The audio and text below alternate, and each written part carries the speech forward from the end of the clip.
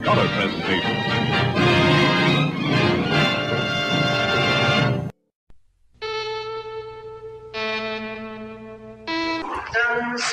Presents this program in color.